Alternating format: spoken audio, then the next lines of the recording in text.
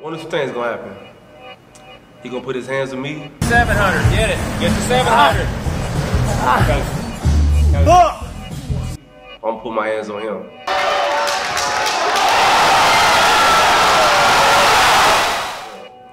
But it ain't gonna be easy work, I tell you right now.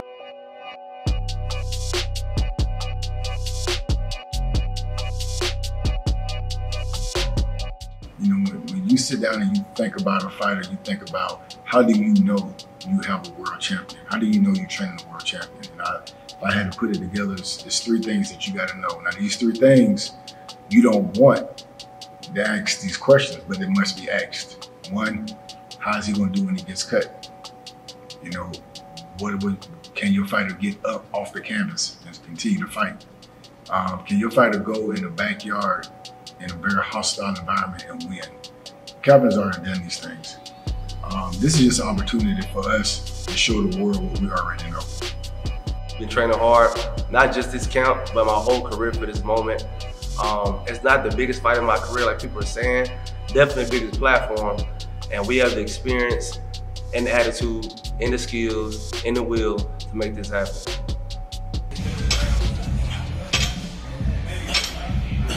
So you got what I call part-time pros. So you got guys that only train, only dedicate themselves to the sport when they have a date or a fight lined up.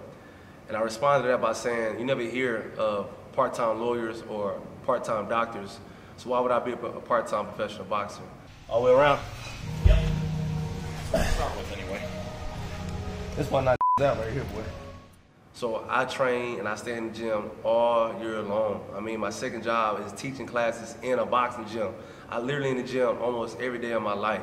And so I have no choice but to stay in shape, eat right, make good choices, and take my job seriously. Because once again, I'm feeding my family with this. This is what I do better than anything else in the world. Why wouldn't I do it all the time?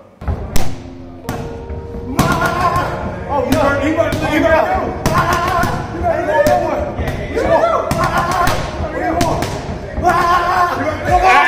Strength as a fighter, I believe I'm willing to adapt to what's going on with my opponent. And so we always approach each opponent with a general game plan, but then like the true adjustments happen in the fight. So the fighter likes to go to the right, we'll step to the left. Like throw his jab, we'll counter off his jab. So it's kind of always go back to making small adjustments as the fight's going on. This fight is going to look to be simple, but we know the steam is coming out. You know, he's going to bring his his A game, um, which is what we expect, and um, I think there's going to be uh, total domination in this fight. Real quick, talk about being a dad and a husband. That's part of the story a lot of people don't get to hear or see, is that being a father is also a full-time job. And I take that just as I do my professional career. And so when I leave home, those days at the gym when I'm drained and I'm tired, I'm dehydrated, I'm cutting weight, it's not fair for my wife, for my kids to get a 50% dad or 50% husband.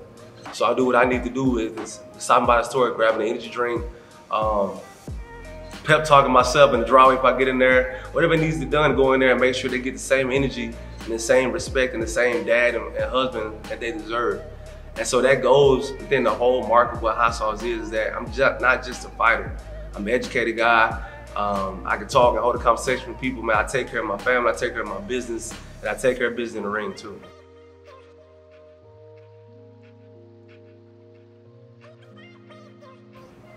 What would you say to your fans that are part of this journey, this hot sauce train? What would you say to your fans right now before this fight? Come aboard. There's always room on a hot sauce train. Um, you looking looking to me, you know I'm a nice guy outside the ring. Uh, I take care of business inside the ring. I'm very approachable. and It's kind of like to be what's monikered as the people's champ. I don't want to be the guy where I have 3,000 bodyguards. You can't get to me. You can't talk to me. I like people. I like relating to people, and I like motivating people and talking to people and just hearing their stories. And so um, there's always always room on a team hot sauce train.